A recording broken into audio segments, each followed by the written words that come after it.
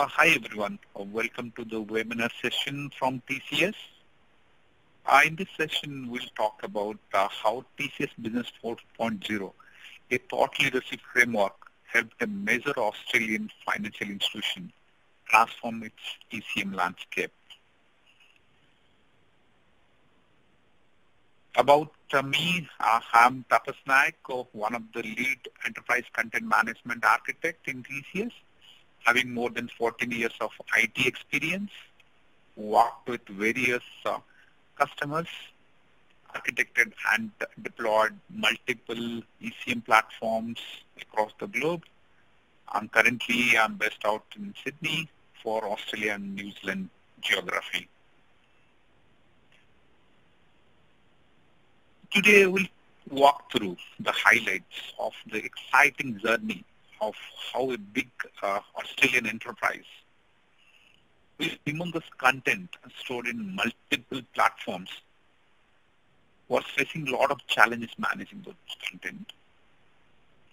Unlike other enterprises also do the similar fashion.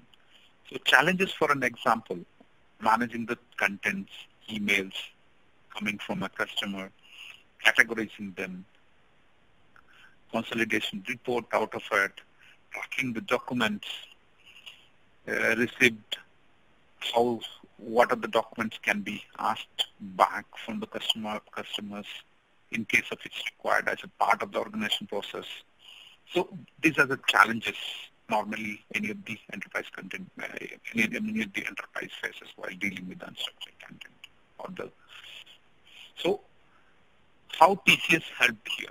How TCS helped the organization adapting or putting the framework to overcome all the challenges which the organization was facing. So that's the details which we are going to discuss. Unstructured content or the content or the data. Data growth is huge in the in, in the in any of the organization in the world. So a joint study done by IDC International Data Corporation in the US-based firm, and Seagate. global data share will grow to 175 zettabyte. So zettabyte is 1 million of petabyte. 1 million petabyte is a single zettabyte. So by 2025. So what it is right now? In 2008, there was a study which mentioned like it is only 33 zettabyte. So within five to six years of time, we can imagine how the data growth would be. And the prediction is within that data, what you call it the data sphere of the world, within that data, more than 60% of data is on structured content. What is the ECM stands for? ECM is Enterprise Content Management. What it, what it does, what it does. Actually, it's a set of processes in different technologies to capture, manage, store, preserve, and deliver valuable contents and documents to the organizational processes. So it's completely life cycle of the content which is through by ECM. Enterprise content management is dealing with the content and starting from capture to the disposal, all these documents, all these uh, contents being managed by the part of the platform. So we'll just give an example. What what is this? How how is being related to this organization? It's a financial institute. There are insurance uh, segments. So in the insurance uh, uh, segment, there are claims document, insurance forms, customer documents, and similarly, if you talk about any of the banking uh, uh, enterprise, the KYC documents, know your customer documents, documents related to the daily deposit accounts, home loans, any of the personal or commercial lendings.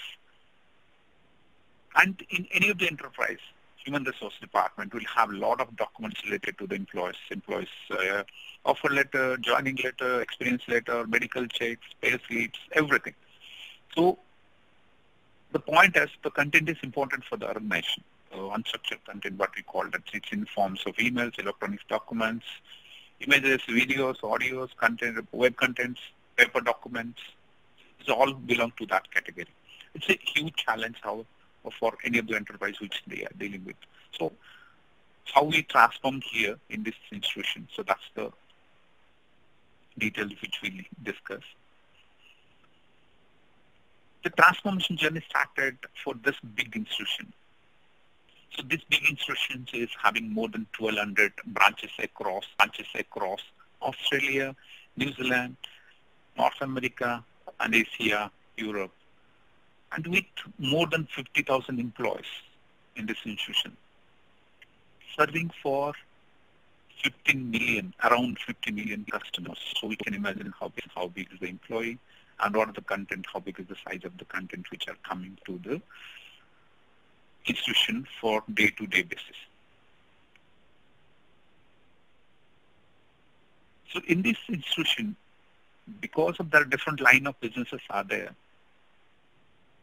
there are a lot of legacy platforms, legacy applications or ECM uh, platforms which being used by different line of businesses to store and manage all these contents. And as we uh, uh, highlighted earlier, there are a lot of challenges managing those. We'll go uh, when we discuss about what are the challenges, how the challenges are uh, kind of a hindrance to the business process.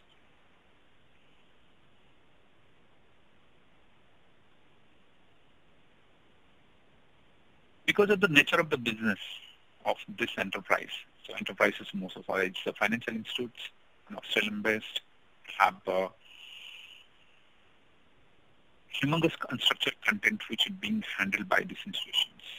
All these documents which you talk about, all these electronic documents, emails, access, daily deposits, uh, statements, the communications which are going to outside as well because for a reference or for a uh, referral guidelines point of view, we they they store uh, the communications which are being sent to the customers.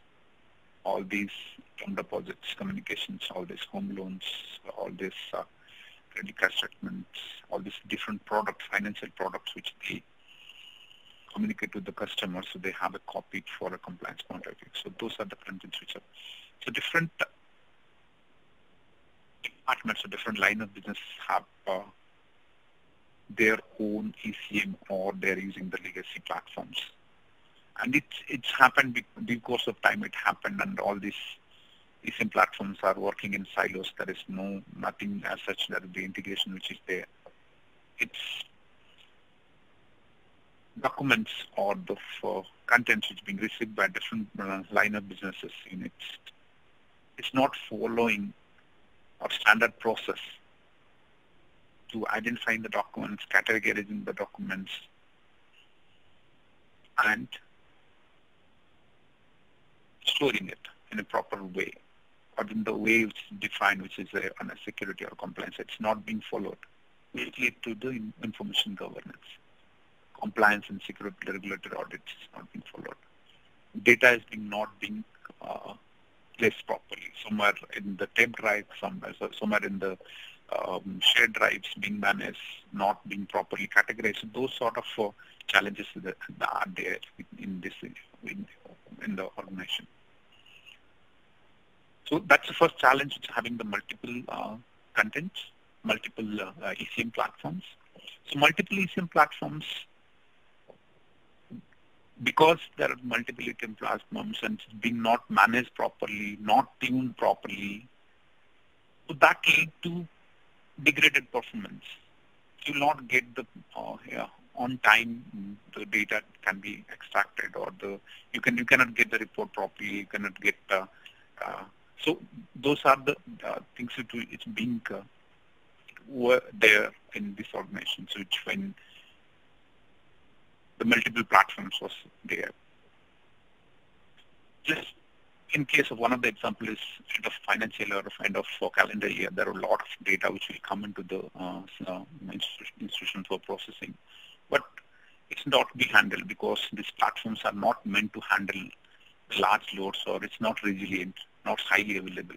So it's because of it's not being managed properly, tuning is not done, product stat is not maintained, and the content which came up is not being handled, and which lead to, because the multiple platforms, the total cost of ownership is high. You need to maintain multiple platform, multiple hardware, multiple software, multiple team to mentor it. So these are the challenges. And uh, when it is scattered across, reporting from the data to get it from those systems are quite challenging. You you cannot get the uh, consolidated view of the data, where it is coming, how it is being stored, and is there any uh, relation between that, how to establish that between the data if data is in this department or that department, if some approvals required from here as well as there, you don't have. So these these are the challenges which the uh, institution was uh, facing for a longer period. So what TCS does it here, it's TCS thought leadership, to establish a new gen ECM enterprise. So we defined a certain set of goals and from that goal, how it can be achieved. So the first goal is a centralized system. So the lacking or the issues which we which the institution was facing multiple platforms. So that's the first criteria. So first goal is to centralize the repository. Centralize the repository will have benefits like you have a single data model, taxonomy, standardized taxonomy can be followed so that the data categorization can will be universal within the organization. And it is standardized process. So next the goal is compliance and security. So that's uh, important from in, um, uh, information or the when you are handling the content. So that's the another goal which this is defined. Compliance and security were not there in all of the systems. It's not being followed properly. So how it's been designed here, continuous data protection and security are two parts on um, taken under compliance and security continuous data protection is a mechanism to real time do a data backup of a system. If something goes wrong to the system, a disaster happened, one of the data center burnt out, blown out, your data can be recovered to the last transactions to 100%. So data is value for an organization. If you lost the data, then uh, the business value, um, information is a value for a on enterprise. So that's a critical uh, design uh, decision or the goal which is has designed, continuous data protection and data security. So the data security, data should not be mishandled, mismanaged. So data at rest, data in transit. So all your, whenever the data is getting stored, you, you just need to make sure and we design in such a way that it's it's all encrypted at rest or encrypted in transit. Third goal is common services and UI. So it again came from the same uh, way. Uh, it's when visit to a particular branch, and he he or she has some multiple things to do it. He requests for this. The person who is serving it, he needs to switch between the different UIs and UI applications to serve them, serve the customers. So that's a productivity loss, which in turn again go to the business loss. So the third goal was to common services and UI. So what are the department across? You have a common services which is defined to integrate for any of the application common UI to be served. You can log into that same portal and get your data based on your permissions. So that is an advantage which the uh, institution got. It's a productivity gain for the institution. It was facing a lot of challenges when it's having multiple systems. You switch between the systems all these. So that's a huge number. You can imagine there is 50,000 employees. If 20% or 30% were using that system on, uh, for an application consumption point of view, so that's a productive, huge productive gain for the enterprise.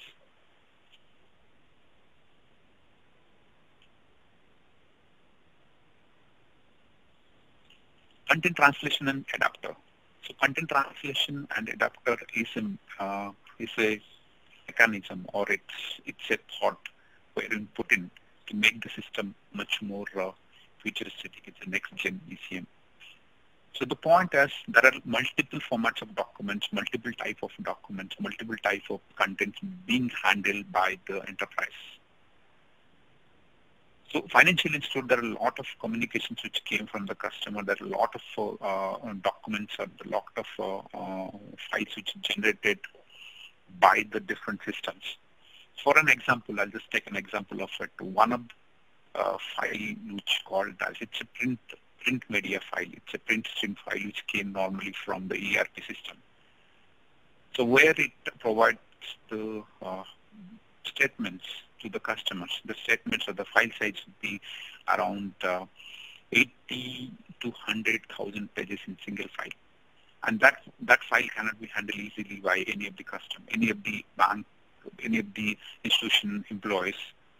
And it requires special tools and special skills to handle it, to search it. And so what we have done it here, what uh, as uh, TCS uh, thought process, we've done it here. We put a translator to make it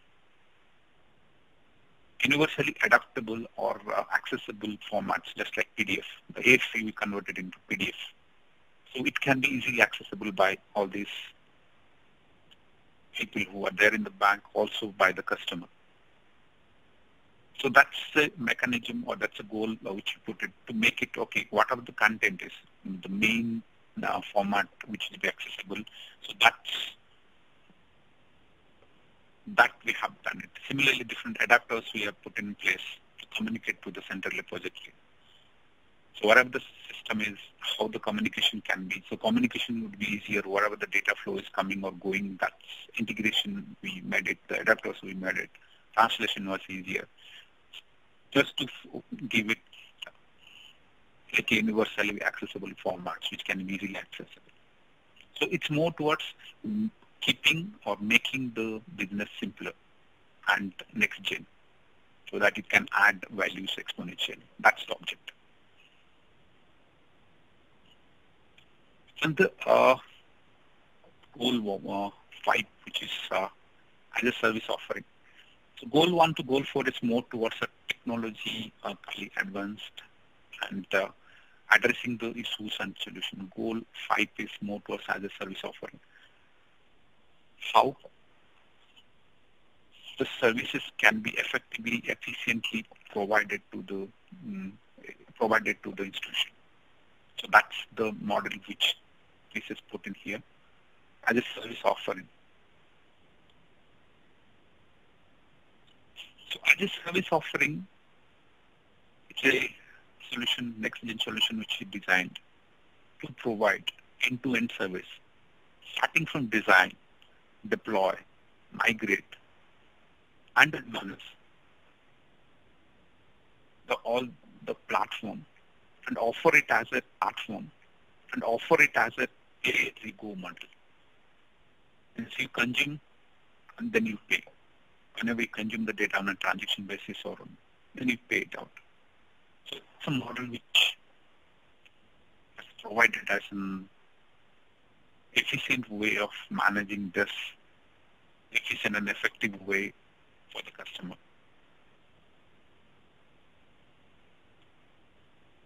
So as a service offering, what are the benefits? It's an innovative pricing model which was given to the which was given to the customer service-based model, price per document is a charging model. It's what the benefit. Benefit for the customer is, or benefit for the business unit is, they can predict the cost, how much it's going to be. It's not like something ad hoc came on the system and to maintain it. It's all being managed as a package. It's only a pay per use based on the transactions per document cost being charged to the uh, business units and TCS hosted the solutions. I've taken all this uh, with the expertise from infra, with the expertise from uh, uh domain knowledge, platform. So this is the chat uh, as a offering which is given. highlights what the customer has gotten. Customer has gotten centralized repository to handle generic services to being offered. It can be easily integration. The can be repeatedly used. Stable platform. It's highly available, highly resilient platform. Only it can go down four minutes in a month. That's the only thing. So it's 99.99% availability. Stable platform. We covered near to 300 days without any incidents, anything, which lead the customer to accelerate their new business in initiatives. And mainly because the data size is huge and the customer has realized the benefits. Currently, more than 43 million transactions per month, hosted 150, more than 150 terabyte of data, all this decoupled way of application design, agile methodologies for efficient governance from TCS as well as the institution has been placed. Expert domain knowledge is being, uh, because uh, we have proven, TCS has proven a lot of implementation expert in, uh, in uh, managing the ECM platforms, deploying the uh, ECM platforms. Oh, the customer benefits. Customer got uh, on a financial point of view, uh, savings, annual savings. Governance is easy for customer. Predicted costing was given. Projections for um, uh, next six months to uh, 12 months has given to the customer. And it's expert in the contextual knowledge because we TCS manage the platform as a holistic point of view. It's completely all this domain expertise from different uh, line of businesses using that system. This is, is recommending on um, the reporting the better way if adapting to the different technologies and all.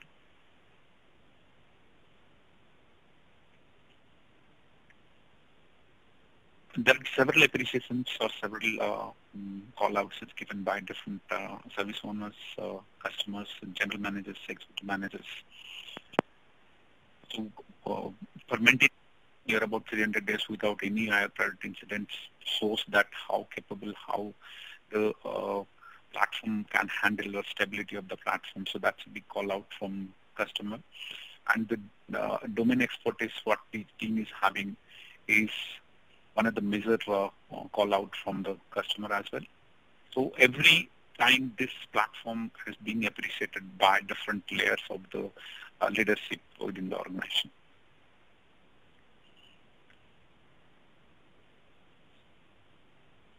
Thanks everyone. Uh, that's it from my side. Thanks for joining the session and hearing me. For any any further questions, you can type in the chat window provided.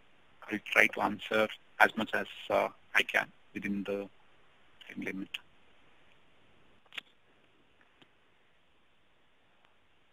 Uh, hi, there is a question from uh, one of the uh, viewer. Uh, it's like, uh, is it specific to the financial institute or it is something can be, this model can be implemented in any other enterprise? So the answer to it is yes, it can be implemented across any enterprise because all these enterprises are having unstructured content and uh, all, each enterprises having 60 to 70 percent is having the unstructured content. Yes, it can be implemented across any enterprise. So there is another question which is how much time it would require to establish this kind of solution.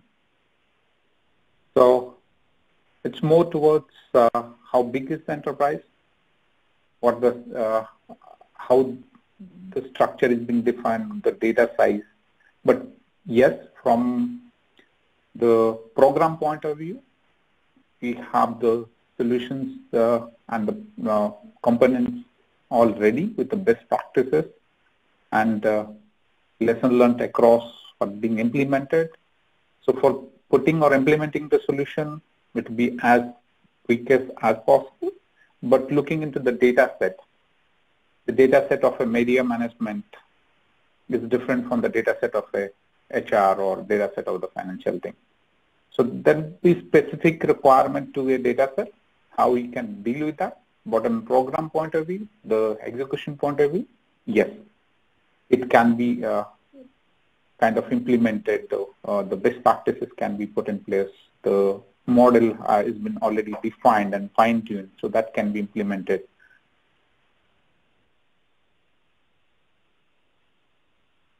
And uh, another point is what's the business benefits of this program?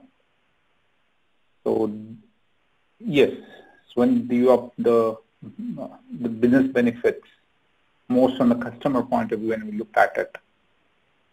You have multiple platforms, you have a fragmented view of the customers. So, so we are bringing it to a single view. So this program is bringing the centralized and uh, a single view of the customer. And with this model, customer no, is not having, not to put in more thoughts about the managing and uh, putting on the IT instead of that they can do in the uh, more focus on the new business engagement, uh, product initiatives, um, marketing, branding, and all those sorts of things can be happen on the focus side of that thing instead of uh, putting on maintaining on the IT and all other sort of thing to handle it. So, and coming to the compliance of the views which are coming up for uh, different uh, kind of uh, regulatory go governance and compliance. So that can be easily managed as a part of the platform. So that's uh, on, the, on the data side of it. It's much more important when you are aligning with uh, compliance and uh, regulatory regulatory governance. So another point is, so what are the best practices being followed with this program? So what are the best practices being followed and what the lesson learned which uh, came up as part of uh, uh, with this program. So there are multiple components which came into picture as part of the best practices. So one is the organizational readiness. So for an organization, how quick, how effective the organization, how we can part, because all these are scattered across, how we make it together so that it can be easily.